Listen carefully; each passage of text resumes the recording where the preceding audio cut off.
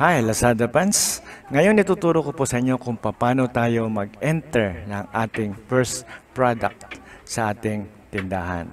Including description, the short description, saka yung long description, and of course, yung ating madalas na itanong tungkol sa lorry kit. Okay, yan po yung combination ng image at ng text.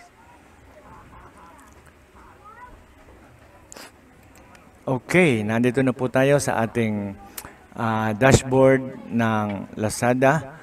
Dito po natin siya umpisahan sa products. Okay, yan po yung menu na nakikita nyo. Ngayon, sa ngayon, ang kailangan lang po natin ng mag-enter ng products. Oh, by the way, ah, nag-video po ako nito. It's because nakita ko po kasi itong ah, aking previous na video which is how to sell on Lazada or paano tayo mag-process ng shipping label saka ng RTS.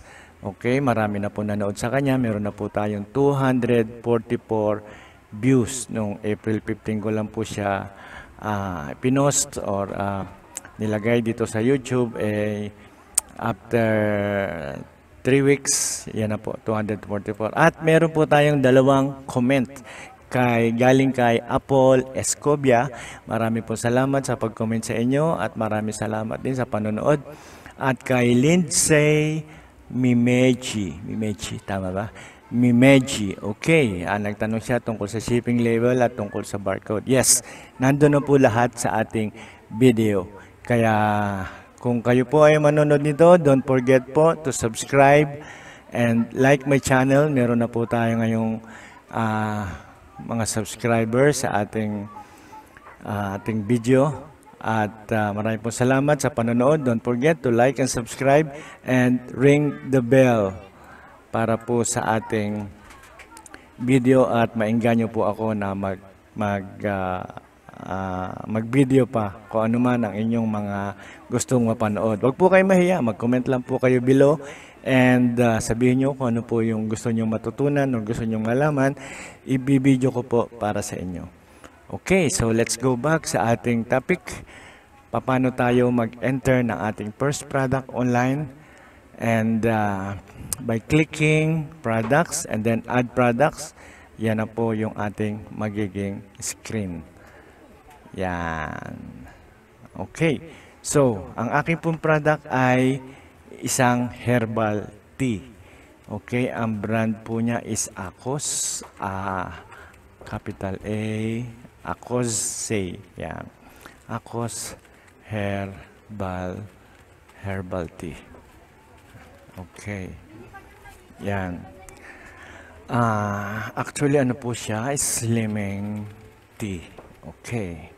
Now, after nyo pong ma-enter ang product name, automatic po na maglalabas yung category sa ilalim nito at piliin nyo lang po yung eksakto doon sa inyong produkto. Kamukha po nito, grocery drinks.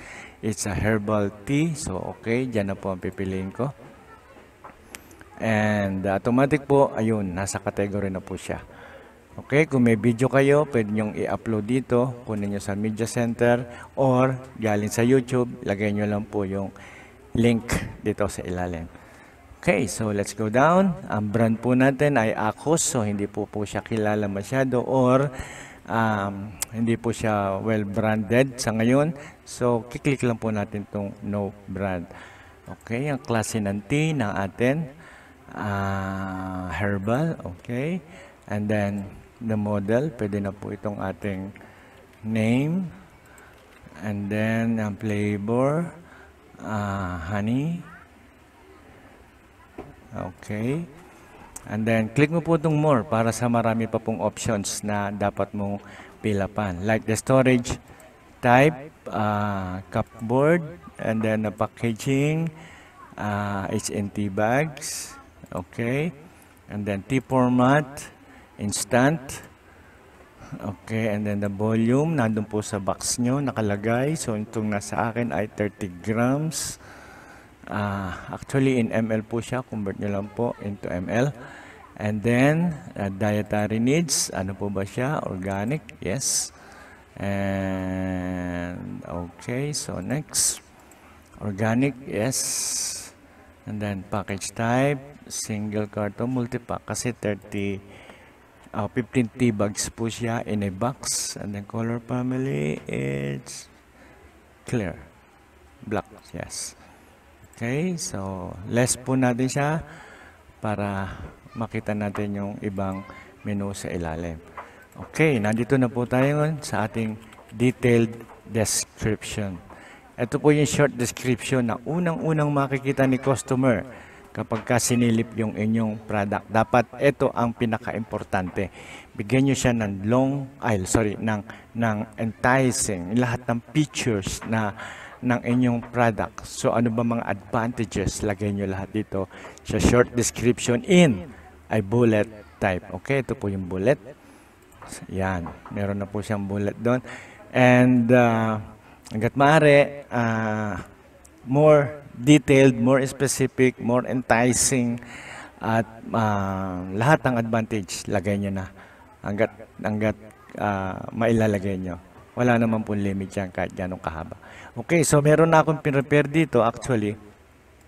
Ito yung aking ilalagay na short description. Uh, copy-paste ko lang yan. Lagay ko na rito. Okay, so uh, lalagyan lang po natin ng um, bullet dyan. Ayan, okay. So, back. Kasi po, kinapi-paste lang po natin kaya uh, kailangan po natin medyo retokoyin ng konti. Total, ganun din naman ang ating uh, gagawin. So, ang ginagawa ko lang po dito ay lalagay ko lang po yung cursor sa ilalim ng text and then backspace para tumaas po siya dito and then just simply press enter automatic meron na po siyang uh, bullet okay so capital lang natin to reduce yan okay yan na po yung ating short description okay let's go to the long description yan. Ito na po yung long description and lorry kit. Yan na po yung combination ng ating text and image. Okay, yan po yan din po yung nakikita sa ating uh, page pag uh, tinitignan ni customer yung ating product. Okay, meron na rin ako na prepare dito na uh, description, control C and then control B to paste. Yan, taas lang natin to ng konti. Ah, okay. Baba ko na siya. Okay, so, uh, yan na po yung ating uh, uh, text and then dito po tayo mag-enter ng image. Okay, meron na po ako naka-prepare na images dito. So, kukunin ko lang po itong isa na to. And then, yan. Okay, nakita niyo na po siya. Ayan na po yung image natin. And then, once na pumasok na po yung image nyo, simply click nyo po itong apply. Okay, and then nakikita nyo po siya, completed, all jobs is done, success. So, nandun na po yung ating image and text combination. Kung meron pa po kayong dadagdag, just simply go back to the editor. Okay, going down, what is in the box? That means one box of, uh, ano po yung title natin? Yun, Slimming Tea. Control C again and then go down. One box of Control B. Ako Herbal Slimming Tea. Uh, bigay po natin ng other details para hindi po siya malito. Uh, 15 tea bags. 15 tea bags of uh, um, 2 grams each. Of 2 grams each. Okay.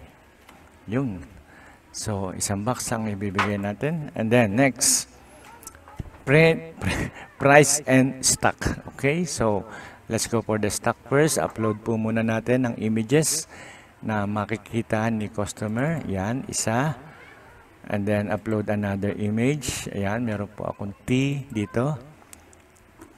Okay, and then last, meron pa po ako isa na image. Yan. So, tatlo po yung image natin. Okay. Uh, and then the price. Uh, um, say, 299 is the local SRP natin, including yung markup natin, including lahat-lahat na. Yan na yung selling price nyo. Okay. Now, uh, kung gusto nyong, since na ito ay bagong products o first time nyo sa i-introduce, pwede kayong magbigay ng special price. Okay, say for example, click nyo lang po itong pen na to, lalabas po yung special price. Say, introductory price, bibigyan natin siya ng introductory price of 2 uh, 70, halimbawa. Okay, so from 299, i-reduce muna natin siya ng 270 at kailan natin siya uumpisahan. So today is the 24th of May. Ayan, naka-highlight, May 24, 2020. So bukas, uumpisahan natin siya na i-promote ng 270. Okay, at matatapos sa, let's say, for one month, dahil promotion natin to 25, nakita niyo po yung highlighted. Yan. So meaning, in one month, uh, ang price po niya ay 270. Okay, click nyo lang po yung okay. And then, right after na click nyo okay, click confirm para ma-save po itong mga details natin. Okay, nakikita nyo po dito, wala pa po siyang laman. Pag click nyo na po yung confirm, there you go. Yan, so, special price po natin ay 270 within one month mula bukas. At babalik na po siya sa regular price after one month. Automatic po yon. Okay? Very simple. Very straightforward. Quantity is, say for example, meron kayong 10 pieces and then another very important feature, ang ating seller SKU. Ano po yung pangalan natin nung naibibigay doon sa product. So, uh, by the brand, pwede ko po sabihin Akos, Akos, ah, tama, Akos Slimming Tea. Slimming Tea. Okay, Akos Slimming Tea. And then, shipping time, ilang days nyo bago siya mailabas. Minimum of 2 days. Halimbawa, minsan naubusan kayo ng stock. So, give it a uh, lean time para uh, maximum 2 days para ma-produce nyo siya ulit. And then, the shipping time, pinakamatagal, say, give it 5 days uh, bago nyo siya ma-ship sa customer. Okay? Ano lang naman po yan, uh, variation. Now, nandito na po tayo sa service and delivery. Okay, click muna natin to. Okay, kung magbibigay tayo ng warranty, yes. Manufacturer's warranty. And then, how many days yung warranty natin? Bigyan natin ng 7 days. Minimum po yan, 7 days. Okay, and then let's go down again. Punta na po tayo sa weight packages. Ganong kabigat po yung ating produkto. That's less than a kilo. Uh, about 300 grams. So, 0.3. Okay. Uh, package dimension in centimeter. Pwede nyo po siyang sukatin yung box mismo.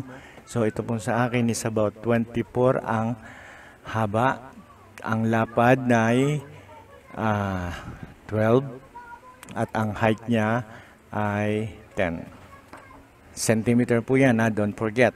Uh, kasi dyan po i-base yung inyong uh, shipping fee or uh, bayad sa shipping okay?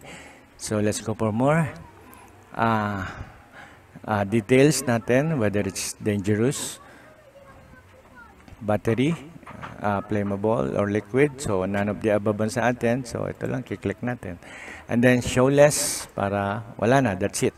And then submit okay right after you click the submit bibigyan po kayo ng confirmation ni Lazada na ang inyong inenter ay good and it will be shown in your store soon right after the successful check ni Lazada. At kung meron man kayong mga katanungan o gusto nyo pong maklear, gusto nyo malaman, hindi nyo naintindihan, i-message nyo lang po or i- i- i-comment nyo lang po sa ibaba nitong video na to para sa susunod na aking release ay uh, isi-shoutout ko po kayo at ipapakita ko ang ang solusyon sa ating mga katanungan. Okay, maraming po salamat. Ito po si Pertin and uh, hope uh, God bless and don't forget to like and subscribe to my channel. Okay? Thank you very much and God bless.